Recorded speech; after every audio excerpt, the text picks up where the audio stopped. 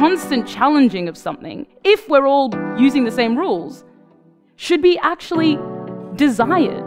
Nonviolent resistance movements were three times as effective as uh, violent ones. I am very concerned that things will become violent. Every movement needs to have an agenda with an ABC plan. So the choice is either to sit down and do nothing or to hope that peaceful agitation wins the day, which it never has.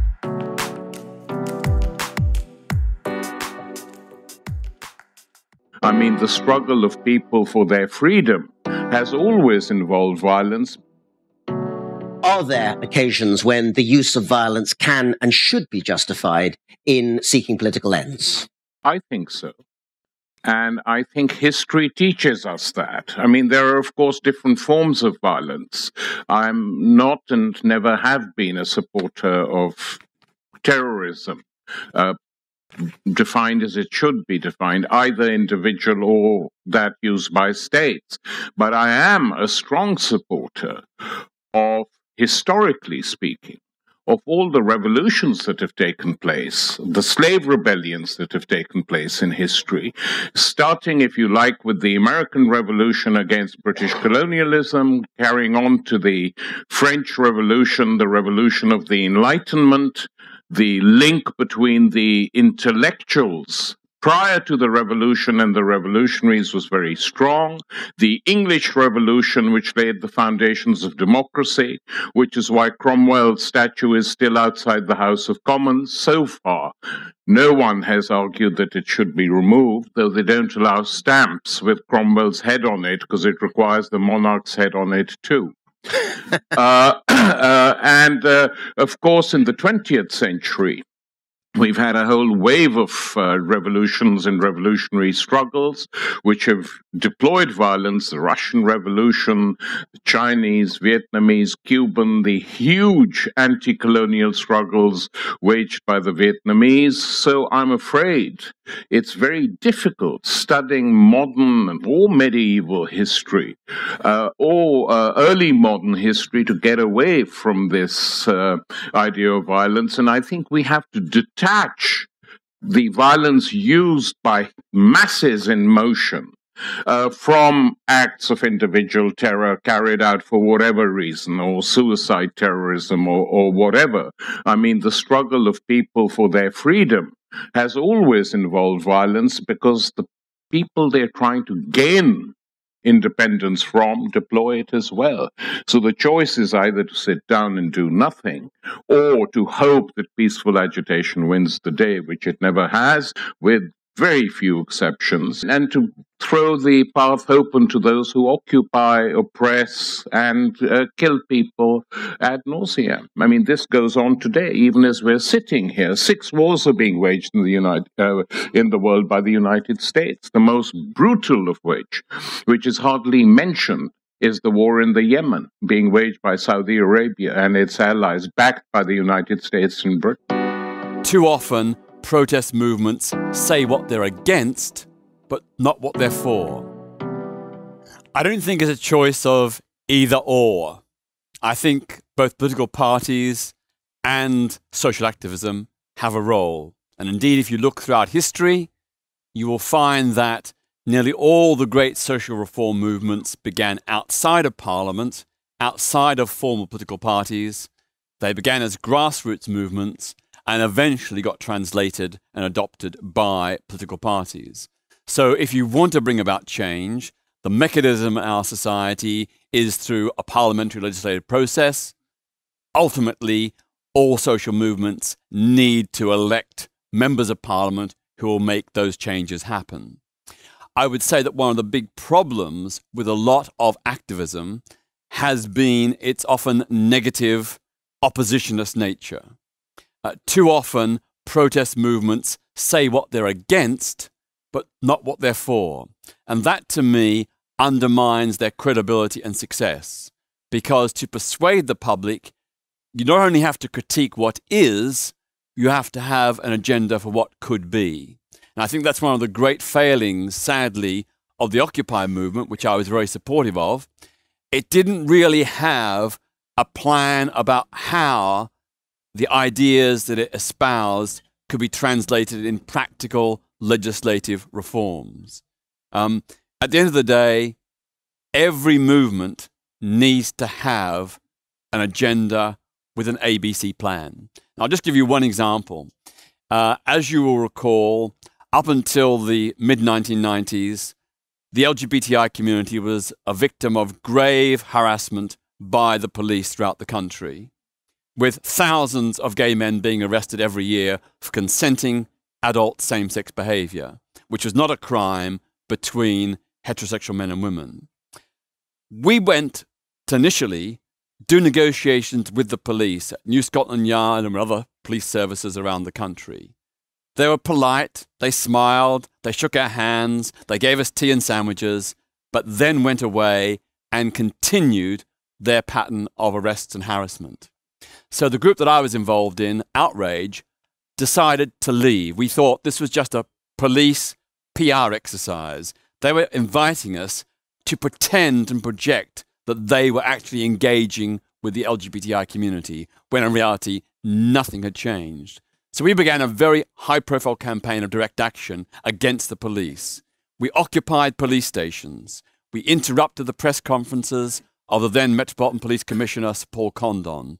We exposed undercover police entrapment opera- operations, uh, secretly photographing undercover police officers who were going into parks and public toilets, waving their willies, and then arresting any man who responded.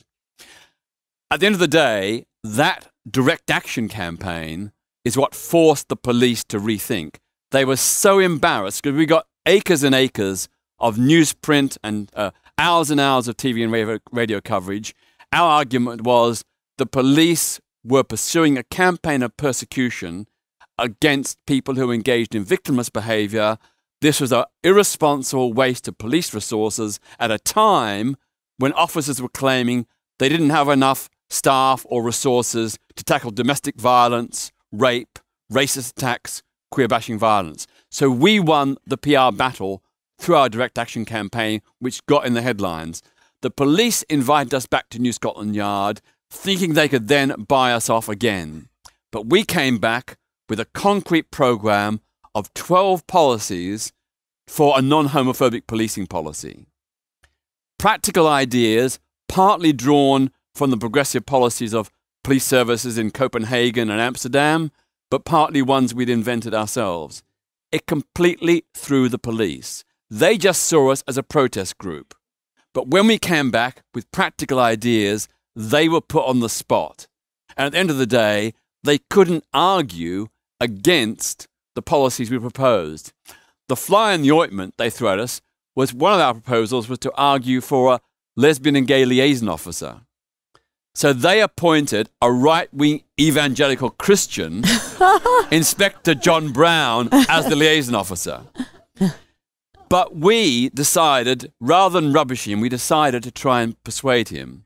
So we took him to meet victims of police harassment who told their personal stories. And over a period of about three months, he became convinced the police were acting inappropriately and not fulfilling their duty he actually became our greatest champion in the Metropolitan Police Service.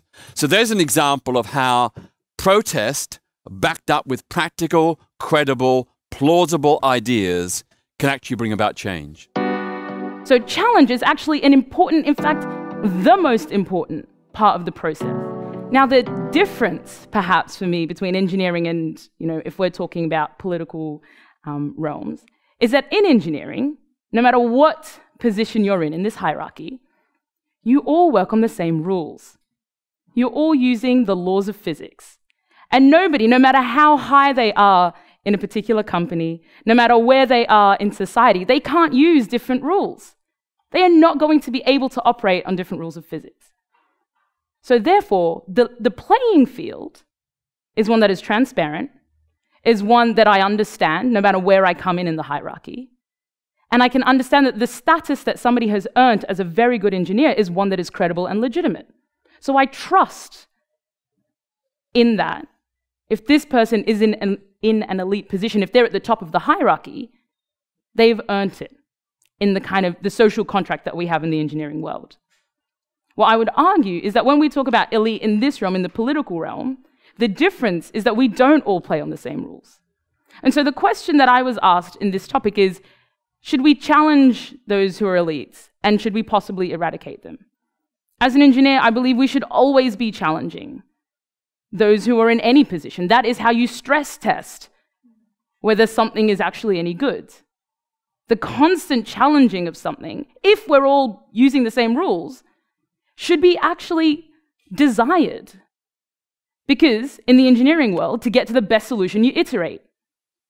In the science world, you perform tests over and over and over again in order to get to the best result. So, challenge is actually an important, in fact, the most important part of the process.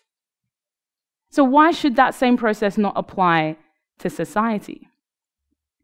If we think about elites, then not only thinking about status, but also about power, and I think the conversation about power is really important power tends to be something that people want to accrue and accumulate more of. No, people rarely sort of sit back and say, Well, I have enough power now. I'm done. I'm going to go to sleep. No. For some reason, something inherently about power asks us to continue wanting more. But I don't think it necessarily is going to not exist. I think for me, power is like fire, is like energy. It is something that is neither created nor destroyed. Only the form changes. You can never create or destroy energy. It only is transformed into different, you go from light to heat to so on. And so the question for me is how are we distributing that power? Who gets to choose how, is, how that power is being distributed? And perhaps it's not about whether um, an elite should exist or not, but how we make sure that we're all playing by the same rules. Because right now we're not. And I think part of the reason there is this distrust is because I know that the rules that the elite in the political world are playing by are completely different rules to me. Compl- they've, set them, they've set it up for themselves. They're not interested in, in changing them, and there is very little that I can do as someone who plays on a different ballgame completely. They're playing chess, and I'm ha- playing handball. Right? Completely different set of rules, and yet we're supposed to exist in the same space and use the same resources and so on. So for me, it is a question of first principles in that how do we make sure that the rules that we're all playing on are the same? And then how do we make sure that the power is distributed? So that you might, in the engineering world, power is distributed, but I know that I'm going to listen to that person because they have a better understanding of the rules than I. And I'm actually okay with that. We really need systems change. Or, yes, I am very concerned that things will become violent. Are peace and stability just necessary casualties when there's so much at stake? Uh, I'd want to start with a critique of the question itself, uh, because it's premised upon an assumption that Britain has been a historically stable society. And of course, this country had a revolution, a civil war in the mid 17th century, 150 years before the French Revolution. More recently, we have the rise of Chartism, the movements for democratic suffrage during the 19th century, suffragettes, and of course, we had a civil war effectively uh, with uh, the Republic of Ireland and secession to the Free State uh, only a century ago.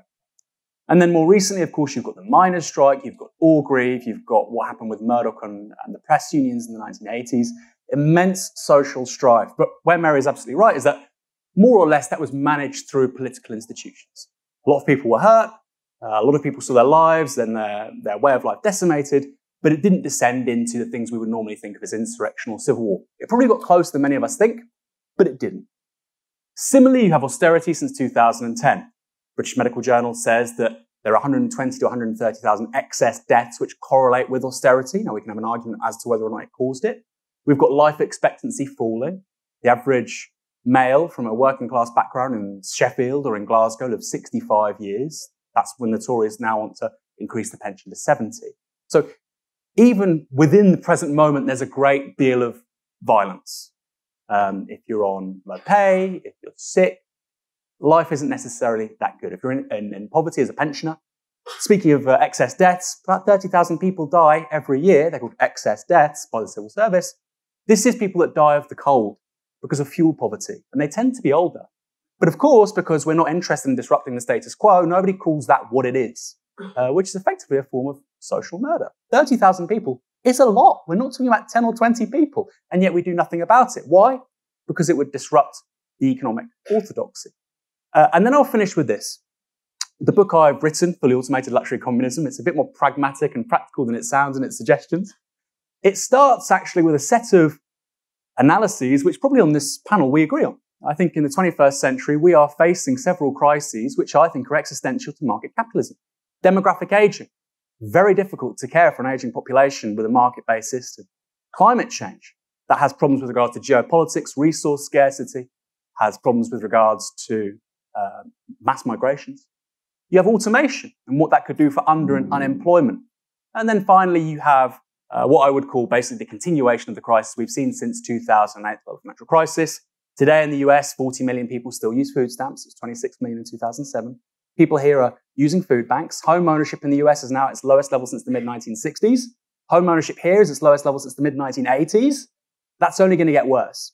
So I think together, that panoply of crises mean that we are going to face significant challenges to our democratic system. So either as a society, we accept the reality of those problems, we say, you know what, we really need systems change. Or yes, I am very concerned that things will become violent. Wars and revolutions kill people by the millions and tens of millions. Steven, we've heard that case that peaceful engagement on its own simply hasn't been a useful way of changing society, with the exception of a very few cases. You have spoken out for better angels uh, very, uh, very publicly. Would you agree with the case that Tariq has made? Uh, no, I wouldn't agree. I guess I start from the premise that killing people is bad, and killing uh, more people is worse than killing fewer people. So even though I, I also don't support terrorism, uh, terrorists have killed a tiny number of people. The worst terrorist attack in history, 9 11, killed 3,000. Typical terrorist attack kills uh, a handful. Uh, whereas wars and revolutions kill people by the millions and tens of millions. And often uh, it is true, Tariq listed a number of violent events in human history. Uh, he did not make the argument that these are, uh, are good or justifiable. These were history's disasters. Now, I do believe that there are arguments that there can be occasions in which violence is justified if it is the only way to prevent greater violence. Again, I'm assuming that, that murdering people is bad. If you disagree with that, then you can disagree with the whole argument. And that murdering 2 million people, 4 million people, 20 million people is really, really bad. Now, did the events that we just uh, heard result in uh, the reduction of uh, violence, prevention of killing of even greater numbers, which I suppose could be used as a utilitarian argument justifying violence? The answer is in, in virtually all the cases, no. The uh, French Revolution was a disaster, killed two million people, led to the rise of Napoleon, perhaps the world's first totalitarian fascist dictator who began wars of conquest that killed another an additional 4 million people led to the restoration of slavery to the restoration of the uh, monarchy and a delay of democracy in France by uh, perhaps a century. Russian revolution killed uh, several million led to the russian civil war which killed another 9 million led to the rise of stalin who killed 20 million. There's an old cliche you can't make an omelet without breaking a few eggs well, it ignores the fact that people aren't eggs and that generally it does not result in an omelet. Again, the Chinese Revolution, perhaps the most disastrous event in, in history, led to the, the uh, Great Leap Forward and the Cultural Revolution, which killed perhaps uh, 30 to to 40 million people uh, altogether. Time and again, a violent revolution, violent uh, war, uh, in addition to the moral harm of mass murder. And again, I mean murder, we're talking about millions or tens of millions of people, does not result in a uh, stable, peaceful state that saves the lives of even more. Quite the contrary. Now, a recent study by um, Maria Stephan and Erica Chenoweth actually looked over the last century at violent and nonviolent resistant movement, resistance movements to put the Gandhian hypothesis to a test that it that there are ways of overcoming tyranny uh, using the all of the tactics that uh, that Gandhi worked out. Now you could. Of course, be cynical about the Gandhian hypothesis by saying, well, he um, tugged at the heartstrings of of the British at an opportune moment, and he just got lucky. So they decided to count uh, of the all of the resistance movements of the 20th century, uh, they divided them into violent ones and nonviolent ones, putting aside the question of which was more moral, that is, which murdered fewer people. Just ask the question of which is more effective. Now, it's not the case that violent resistance movements always succeed or that nonviolent ones fail or vice versa. But if you count them up, they found that nonviolent resistance movements were three times as effective as uh, violent ones. Doesn't mean the violent ones are never effective, but even in terms of sheer efficacy, the nonviolent ones uh, tend to have a higher success. When you say three times as effective, Steven, do you mean they killed one third as few people? Or? No, they uh, three times more often they resulted in uh, regime change. Okay, that's an interesting definition and one that I think we will have to come back and, to in the in the discussion. Final observation is that in a in a survey of what leads to stable democracies, uh, inspired in part by the uh, 2003 invasion of Iraq, which I think we all agree was not a successful uh, uh, measure to to uh, install a, a, peaceful liberal democracy. It, in, that actually fits into a pattern that uh, decapitations of a uh, existing tyrannical regime generally don't result in a uh, stable democracy. I'll add with one final observation. Uh, I'm Canadian. So uh, we actually did achieve independence from uh, Britain non-violently, and uh, we took a little bit longer than the United States. but you know, the American Revolution was a pretty bloody and and brutal mess as well. And Canada, as a result, is today one of the uh, most stable, least violent, and most democratic societies on earth. You can't de-network a society. You can't unliberate a generation. It's going to take a little bit of time to win because we're not just up against the state, nor even is the state the biggest enemy of XR or of the other groups like Me Too or Black Lives Matter. Even Black Lives Matter. The problem is what what the German philosopher Hannah Arendt called the temporary alliance of the elite and the mob. We're up against a temporary alliance of authoritarian elites who, who keep their money offshore, who are heavily invested in fossil fuels, surveillance technologies. Yeah, Th- these are what these guys, and of course, by, by investing in offshore, that is anti taxation, they're effectively investing in anti society. Now, that's on one hand, there are large numbers of people who need to believe that climate change is not real, who need to believe that uh, women are subordinate to men, because in their their world will disintegrate in the next 20 years because of the changes we need to make. Your generation cannot go back into the box that my grandmother's generation of women could had to live in, or gay men, or transgender people, or black people.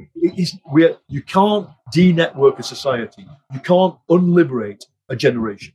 Okay, so XR for me is the latest iteration of the new kind of protest that is the, almost the son and daughter of 2011 and the Occupy movement. The Occupy movement imagined a new society, and we assembled the forms of that society on the internet, the, networks, and then we took it into physical space in the form of tent camps and square occupation. They didn't last. They were easily repressed. Extinction Rebellion, Me Too, and Black Lives Matter take it to a visceral level, to a granular level. If you think about what BLM is saying, is that the wages of whiteness is that if a policeman arrives on a trouble scene, black people get shot and white people generally don't. That's why these racists spend all their time on the phone trying to call the cops on black people for selling water on the street.